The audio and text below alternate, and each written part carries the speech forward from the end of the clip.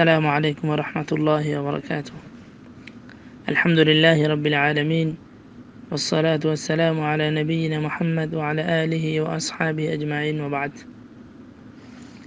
সমাজ শ্রোতা মণ্ডলী আজ আমরা আলোচনা করব মহরম মাসের কতিপয় ফাদাইল এবং আমাল নিয়ে বিশেষ করে অনেকেই জানার আগ্রহ প্রকাশ করেছেন যে এই মাসে আমরা কি কি কাজ করতে পারি আল্লাহ সুবাহান ওয়া তাআলা কোরআনে কারীমে সূরা তাওবার 36 নম্বর আয়াতে বলছেন, ইন্না ইদ্দাতাশ শুহুর ইনদাল্লাহি 12 শাহরান ফি কিতাবিল্লাহি ইয়াওমা খালাকাস সামাওয়াতি ওয়াল আরদ, মিনহা আরবা'তুন হুরুম যালিকা ad-দীনুল কাইয়্যিম ফালা তাযলিমু ফীহিন্না আনফুসাকুম। এর অর্থ হলো যে আল্লাহ সুবহানাহু ওয়া তাআলা আসমান এবং জমিন সৃষ্টির সেই প্রথম থেকেই মাসের গণনা আল্লাহ রব্বুল আলমিনের কাছে বারো মাস। এবং এটি আল্লাহ রব্বুল আলমিনের পক্ষ থেকে নির্ধারিত। আর তার মধ্যে চারটি মাস হলো সম্মানিত মর্যাদাবান চারটি মাস। আল্লাহ সুবহান তালা এই আয়তের মাধ্যমে আমাদেরকে এই জিনিসটা অবগত করেছেন যে আল্লাহ সুবহান তালার কাছে মাসের এবং দিনের যে গণনা, সেই গণনা বারো মাস। সেটা চন্দ্রের হিসাবে হোক বা সেটা সূর্যের হিসাবে হোক। উভয়টাই ইসলাম সাপোর্ট করেছে এবং উভয়টা কোরআনের মাধ্যমে প্রমাণিত যে মানুষ যেটাকে গ্রহণ করুক না কেন, তাতে কোনো সমস্যা নেই। তবে অবশ্যই চন্দ্রের মাস ইসলামী শরীয়তে যেহেতু অনেকগুলো বিষয়, ইসলামী শরীয়তের সিয়াম তারপর অন্যান্য অনেক আমলগুলো রয়েছে যেগুলো চাঁদের সাথে সম্পৃক্ত, তাই চাঁদের মাস বা আমরা যেটাকে হিজড়ি মাস বলে থাকি, এই হিজড়ি মাসকে আমাদের মুসলিম উম্মাকে গুরুত্ব দিতে হয়। এই চার মাসের মধ্যে গুরুত্বপূর্ণ একটি মাস হলো মহরম মাস, যেটি হিজরি সনের প্রথম মাস হিসেবে আমরা গণনা করে থাকি। আবু বকরাহ রদিয়াল্লাহ তালা আনহ রসুল্লাহ থেকে হাদিস বর্ণনা করেছেন যে রসুল্লাহ সাল্লাহ আলহি আসাল্লাম উনি বিদায় ভাষণে বলছিলেন যে আসানাতিসনা আশার সাহারা যে মাস হলো বারোটা। তার তার মধ্যে চারটি হলো সম্মানিত মাস হরম সালাত মুতাওয়ালিয়াত। তিনটা মাস হলো ধারাবাহিক দুল কাদা, দুল হজ্জা এবং মুহররম। আর অপর মাস হলো রজব মাস। এটি এসেছে বুখারি রেওয়ায়তে। তাহলে আমরা এই কথা জানতে পারি যে আল্লাহ সুবাহান ও তালা এবং রসুল সাল্লাহ সাল্লামের পক্ষ থেকে আমাদের জন্য বারো মাসের গণনাই নির্ধারণ করা হয়েছে।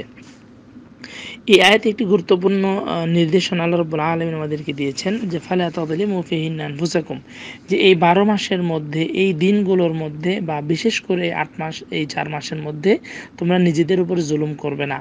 তো এটা বিশেষ ইতিহাস রয়েছে যে, পূর্বে এই মাসগুলোতে যুদ্ধ, বিগ্রহ, হারাম ছিল।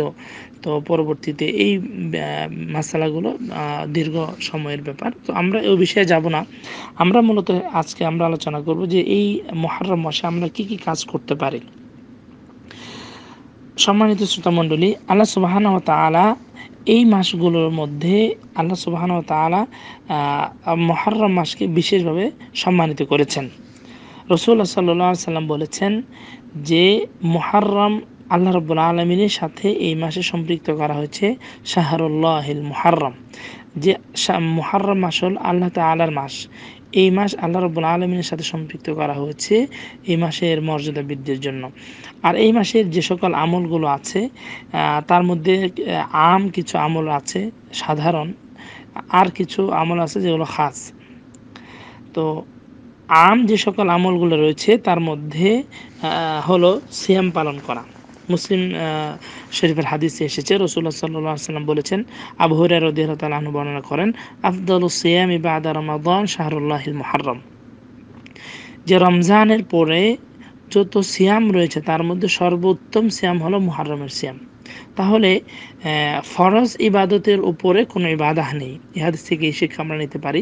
তদ্রুপভাবে ফরজ সলাত যত সলাৎ রয়েছে, এই সকল সলাতের মধ্যে সবচেয়ে উত্তম সলাৎ হলো ফরজ সলাৎ এরপর সুন্না, এরপর আমরা যে তাহাজ্জত বর্ণন সলাৎ হতে পারে। তদ্রুপভাবে সিয়ামের মধ্যে রমজান মাসে যে সিয়াম আমরা পালন করি, তার চেয়ে উত্তম কোনো সিয়াম হতে পারে না। সুতরাং যদি কোনো ব্যক্তি শুধু ফরজ আমলগুলোই করে, নফল আমলগুলো যদি তার পক্ষে সম্ভব নাও হয়, তাহলেও ইনশাআল্লাহ আল্লাহ রবুল্লা আলমিন তাকে জান্নাত দিবেন। তো আমরা যে বিষয়টা লক্ষণীয় যে আমরা যদি নফল আমলগুলো করি, তো এগুলোর জন্য স্পেশাল আল্লাহ রব্বুল আলমিনের পক্ষ থেকে আমাদের জন্য প্রতিদান রয়েছে। যেমন এই মাসে সিয়াম পালনের যে ফজিলত হাদিসে বর্ণিত হয়েছে রসুল্লাহ সাল্লাহ সাল্লাম বলেছেন, সিয়াম ইয়মি আশুরা, ইন্নি আহতাসিব আল্লাহ আইয়ুকাফির সানাতিল্লাতি কাবলা যে পূর্বের এক বছরের গুণ আল্লাহ রব্বুল আলম মাফ করে দিবেন। শুধুমাত্র এই মাসে একটা দিন সিয়াম পালন করার কারণে। আর সেটা হলো দশ তারিখের সিয়াম। আর যেটা বলছিলাম যে এই মাসের বিশেষ যে সিয়ামের কথা রয়েছে সেটা হলো দশ তারিখের সিয়াম। আর সাধারণ সিয়াম হলো যেটা আমরা আবহরের রদি আল্লাহ তালা আনু হাদিস থেকে শুনেছি আব্দুল সিয়ামি বা আদর রহমান শাহরুল্লাহর মহারম তাহলে আমরা চাইলে এই মাসে যে কোনো সময় সিয়াম পালন করতে পারি, যে কোনো দিনে ব্যাপকভাবে অধিক হারে আমরা সিয়াম পালন করতে পারি। দ্বিতীয়টি হলো খাসভাবে আমরা দশ তারিখে সিয়াম পালন করব, যেহেতু এই দিনে সিয়াম পালনের কথা রসুল্লাহ সাল্লাহ সাল্লাম থেকে নির্দেশনা এসেছে, যা ইমাম মুসলিম রাহিমাহুল্লাহ বর্ণনা করেছেন। আরও কিছু হাদিস পাওয়া যায় যে হাদিসগুলোতে বোঝা যাচ্ছে যে রসুল্লাহ সাল্লাহ সাল্লাম দশম তারিখের সিয়ামের সাথে পূর্বের একদিনের অর্থাৎ নয় তারিখের অথবা এগারো তারিখের সিয়াম পালনের নির্দেশনা দিয়েছেন। যেমন ইবনে আব্বাস রদিয়াল্লাহ তাল আনহুর থেকে একটি কৌল বর্ণিত হয়। তিনি বলেন যে, কাল রসুল্লাহ সাল্লাহ আলিয়াল্লাম সোম ইয়মা আশোরা ওখালিফি হিল সোম কাবলা হুইয়মা বা আদা হুইয়মা যে, তোমরা ইহুদিদের বিরোধিতা করো এই দিন শ্যাম পালনের ক্ষেত্রে তাই তোমরা দশ তারিখের পূর্বে নয় তারিখ অথবা এরপর একদিন তোমরা শ্যাম পালন করো। আমরা এই হাদিস থেকে একটা জিনিস আমাদের প্রশ্ন আসতে পারে যে, ইহুদিদের সাথে কেন আমরা বিরোধিতা করব। এর একটি ইতিহাস রয়েছে, সংক্ষেপে যদি আমরা বলি, আল্লাহ সুবাহান তালা কোরআনে করিম এবং ইসরায়েলের দীর্ঘ ঘটনা বর্ণনা করেছেন এবং মুসা আলি সাল্লাতামের যে দাওয়াতি মেহনত, তার বিশাল ব্যাপক বর্ণন আল্লাহ সুবাহ তালা কোরআনে কেরিমে দিয়েছেন। তো মুসা আলাহি সাল্লাতাম বন ইসরায়েলকে ফেরাউনের সেই জুলুম এবং অত্যাচার থেকে যে মুক্তি দিয়েছিলেন আল্লাহ রব আলমিনের সাহায্যের মাধ্যমে, সেই দিনটি ছিল দশে মুহরম সেই জন্য ইহুদিরা এই দিনে সিয়াম পালন করতেন, কারণ মুসা আলহি সাল্লাতাম এই দিনে সুক্রিয়া সিয়াম পালন করেছিলেন। যেমন বুখারের রেওয়ায়তে এসেছে রসুল্লাহ সাল্লাহ আলহি আসসালাম যখন মদিনায় আসেন রসুল্লাহ সাল্লাম দেখতে পেলেন যে সেই দিনে ইহুদিরা সিয়াম পালন করত। তখন রসুল্লাহ সাল্লাম বলেছিলেন, মা হাদা? এই দিন কেন তারা সিয়াম পালন করে? তখন তারা বলেছিল, হাদা ইয়মুন সালেহ। এটি এমন একটি উত্তম দিন হাদা ইয়মুন নাজ্লাহ বিন ইসরায়েল বিন আদুহিম ফাসামাহ মোসা এই দিন আল্লাহ সুবহান ও তাআলা বন ইসরায়েলকে তাদের শত্রু বাহিনী থেকে মুক্তি দান করেছিলেন আর মুসা আলহ সাল্লাম এই দিনে সিয়াম পালন করেছিলেন। তো রসুল্লাহাম বলেছিলেন, আনা হাক কবি মুসা মিনকুম?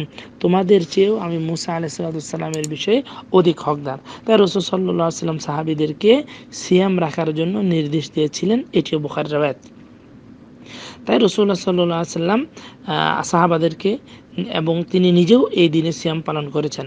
তবে রসুল্লাহ সাল্লাহ সাল্লাম নয় তারিখ বা এগারো তারিখ সিয়াম পালন করতে পারেননি। রসুল্লাহ সাল্লাম ইন্তেকাল করেছেন। এই বিষয়ে রসুল্লাহাম থেকে নির্দেশনা পাওয়া যায় যে রসুল্লাহ সাল্লাম বলেছেন যে নবম তারিখে সিয়ামের বিষয়ে। হাদিসে এসেছে, আব্দুল ইবিন আব্বাস রদুল্লাহ বলেন যে রসুলাম বলেছেন ফাইদা কান ইয়মুল আমল মোকবিল যখন আগামী বছর আসবে, ইনশাআল্লাহ সোমনাল ইয়মাত তাসে অর্থাৎ আমি যদি আগামী বছর বেঁচে থাকি, তাহলে আমি নবম তারিখে সিয়াম পালন করব। কিন্তু রসুল সাল্লাহ সাল্লাম নবম তারিখে সিয়াম পালন করতে পারেননি। এই হলো সংক্ষেপে আমাদের সিয়াম পালন করার বিধান।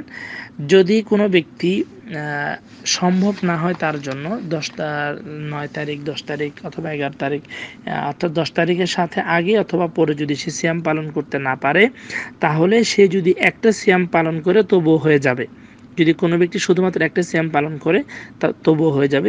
এ বিষয়ে শেখুল ইসলাম ইবনে তাইম রাহিমাহুল্লাহ ওনার ফতোয়াতে এই বিষয়ে লেখা রয়েছে। উনিও এই বিষয়ে একমত পোষণ করেছেন যে ইফরাদ সোম যদি কোনো ব্যক্তি শুধুমাত্র একদিন সিয়াম পালন করে, তবুও সেটা মাকরু হবে না। তবে অনেক আলেমরা এটাও বলেছেন যে যেহেতু রসুল্লাহ সাল্লাহ আলহি আসাল্লাম রোজা রাখার বিষয়ে আগ্রহ প্রকাশ করেছেন, সেজন্য আগে এবং পরে রোজা রাখা ভালো। তবে যদি কোনো ব্যক্তি সক্ষম না হয়, একটি রোজা যদি সে পালন করে, তবু ইনশাল্লাহ হয়ে যাবে।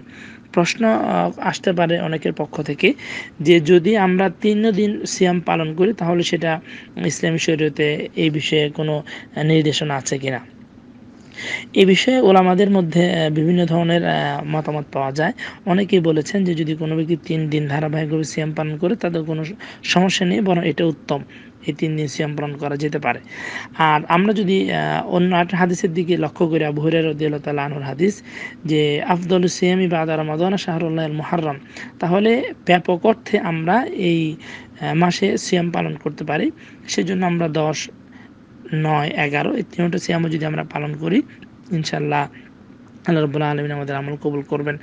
এখানেই আমরা সমাপ্ত করতে চাই যে এই মহারম মাসে আমাদের আমলগুলো হলো বেশি বেশি করে সিয়াম পালন করা এবং বিশেষ করে আশুরার দিনে আমরা সিয়াম পালন করা। ইনশাল্লাহ পরবর্তীতে আমরা আরেকটি আলোচনা পেশ করব যে এই মাসে আমরা কি কি কাজ বর্জনীয় আমাদের জন্য। বিশেষ করে শিয়ারা এবং তাদের যারা অনুসারী রয়েছে, তাদের তারা যে সকল কাজ করে থাকে, এই বিষয়ে ইনশাল্লাহ আমরা পরবর্তীতে আলোচনা করব। তৌফিক। التوفيق إلا بالله. وهذا وصلى الله على نبينا محمد وعلى آله وأصحابه أجمعين.